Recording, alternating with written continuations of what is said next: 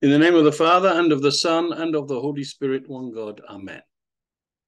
My dears, God bless you all and watch over you and all your families, especially as some of us travel and have holidays during this summer season.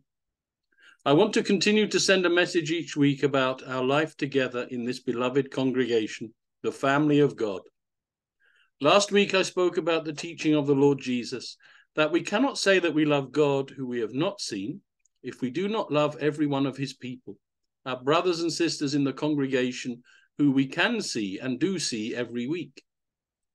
The scriptures teach us that the church is the body of Christ, and all of us are members of this body. There are many parts of our human body, but each part is a member of our one body.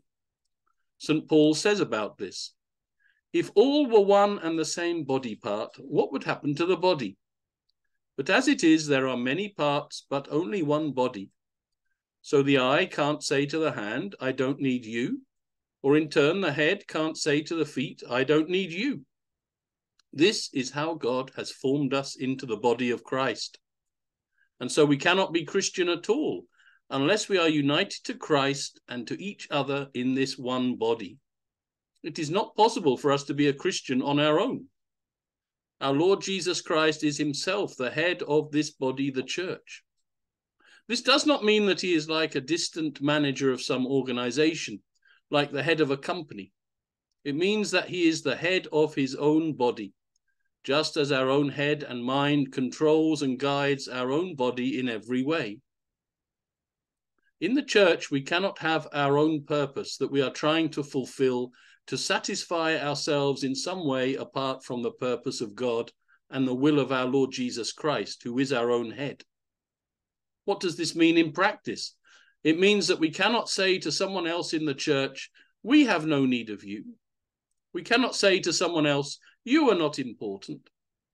We cannot say to someone else in the church, I will not work with you or cooperate with you.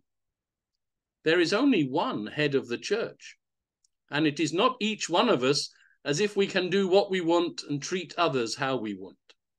The head of the church is not even the priest or the bishop or even His Holiness the Pope. The head of the church is our Lord Jesus Christ Himself. And He asks each one of us, Are you united to me in my own body? And are you united to every other part of the body who gathers here together in my name? St. Paul continues and says, God has put the body together, giving greater honor to the part with less honor, so that there won't be division in the body, and so the parts might have mutual concern for each other. What does this tell us? It is that even if there are those in the church with us who seem less important and less able, God Himself honors them and joins us together with them so that there should be no division in his body at all, so that there should be no division in our congregation at all, because this is the will of God for his body, the church. What are we to do?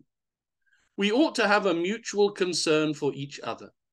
We ought to think about each other and put each other first and before ourselves. We must consider how am I treating other people in the congregation? How am I speaking to them and about them?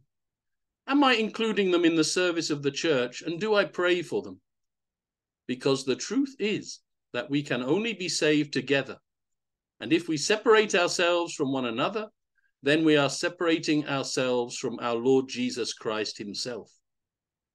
If we have been made one body by the Lord Jesus Christ, so that each of us is a precious and necessary member united to him and to one another, then we cannot easily dismiss any person in the church as if they were not important.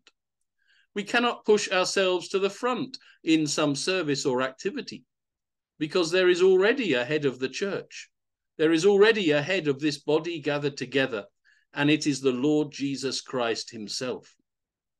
Who will dare to put themselves in the place of Christ as if his body, the church, our congregation, should only be organized in the way that we think best. On the contrary, with deep humility towards God and one another, we seek to serve the Lord of the church and to make ourselves the servants of all. We consider it a privilege to serve alongside all those who are in the congregation with us. We desire that every person in the church is able to participate with us in the service of the church in all of the different ways that this requires.